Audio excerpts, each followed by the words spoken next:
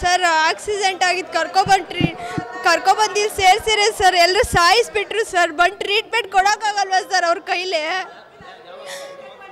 Sir Sunday night ಆಗಿದ್ದು sir Monday Sunday night ಆಗ್ತಾ ಇದ್ದಂಗೆ ಸರ್ ಕರ್ಕೊಂಡೋದ್ರು ಬೆಂಗಳೂರಿಗೆ ಕರ್ಕೊಂಡೋಗಿ ಇಮನ್ಸಲ್ಲಿ ತೋರಿಸ್ಕೊಂಡು ಇಲ್ಲಿ ಆಗಲ್ಲ ಸೀರಿಯಸ್ ಇದೆ ಅಂದಾಗ ಅಲ್ಲಿ ಹೋದಾಗ, ಅಲ್ಲಿ ನಾರ್ಮಲ್ ಇರೋದಕ್ಕೆ ಸಾನೆ ಸರ್ ಇಮನ್ಸ್ ಅಂತಂದ್ರೆ ಸುಮ್ಮನೆ ಸರ್ ಹಾಸ್ಪಿಟಲಲ್ಲಿ ನಾರ್ಮಲ್ ಇದೆ ಅಂದಿದ್ದಕ್ಕೆ ಇಲ್ಲಿ ಕಳಿಸಿದ್ರು ಸರ್ ಇಲ್ಲಿ ಕರ್ಕೊಬಂದ್ರೆ ಸರ್ ನಮ್ಗೆ ಅಟ್ಲೀಸ್ಟ್ ಒಂದು ಮಾತು ಹೇಳ್ಬೇಕಿತ್ತು ಸರ್ ತುಂಬ ಸೀರಿಯಸ್ ಇದೆ ಕರ್ಕೊಂಡೋಗಿ ಅಂತ ಹಂಗೂ ಹೇಳಿಲ್ಲ ಸರ್ ಫೈನಲ್ ಸ್ಟೇಜಿಗೆ ಬಂದಾಗ ಹೇಳಿದ್ದಾರೆ ಸರ್ ಸರ್ ನೆನ್ನೆ ಬೆಳಿಗ್ಗೆನೆ ಕರ್ಕೊ ಬಂದಿದ್ದೀವಿ ಸರ್ ನೆನ್ನೆ ಬೆಳಿಗ್ಗೆ ಐದು ಹಾಂ ಸರ್, ಬಂದು ಅಲ್ಲಿ ಸೇರಿಸ್ಕೊಂಡು ಸರ್ ನೋಡಿಬಿಟ್ಟು ಅಡ್ಮಿಟ್ ಮಾಡಿಕೊಂಡು ಅಡ್ಮಿಟ್ ಯಾರು ಬರಲ್ಲ ಯಾರು ಬರಲ್ಲ ಸರ್, ನರ್ಸುಗಳಿದ್ದಾರೆ ಸರ್, ನಮ್ಮ ಪೇಷಂಟ್ನ ನಾವು ನೋಡೋಕೆ ಹೋದ್ರೆ ಹೋಗ್ಬೇಡಿ ಹೋಗ್ಬೇಡಿ ಅಂತಾರೆ. ಸರ್, ಈಗಲೂ ಅಷ್ಟೇ ಸರ್ ಡೆತ್ ಆಗೋದಕ್ಕಿಂತ ಮುಂಚೆ ಸರ್, ನಾವು ಹೋಗಿ ನೋಡಿದ್ವಿ ಸರ್, ನಾವು ಹೋಗಿ ನೋಡಿದಾಗ ಆಗ ಫುಲ್ಲು ಬಿ ಪಿ ಎಲ್ಲ ಲೋ ಆಗಿಬಿಟ್ಟಿದೆ ಅಂತಂದು ಆಗ ಬಂದು ನೋಡ್ತಿದ್ದಾರೆ ಸರ್. ಅಲ್ಲಿವರೆಗೂ ಪೇಷಂಟ್ನ ನೋಡೇ ಇಲ್ಲ ಸರ್ ಯಾರೂ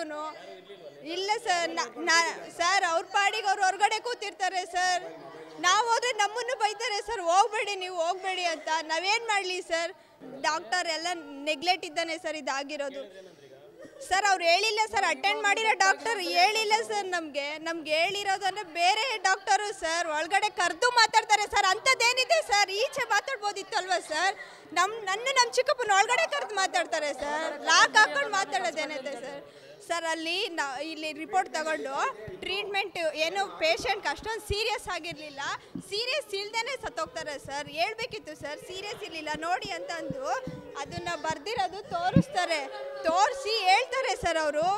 ಏನಂತ, ಏನು ಟ್ರೀಟ್ ಅದು ತಲೆಗೇನು ಹೇಟ್ ಆಗಿಲ್ಲ. ಅದಕ್ಕೆ ಇಲ್ಲಿ ಕಳಿಸಿದ್ದಾರೆ ಅಂತ.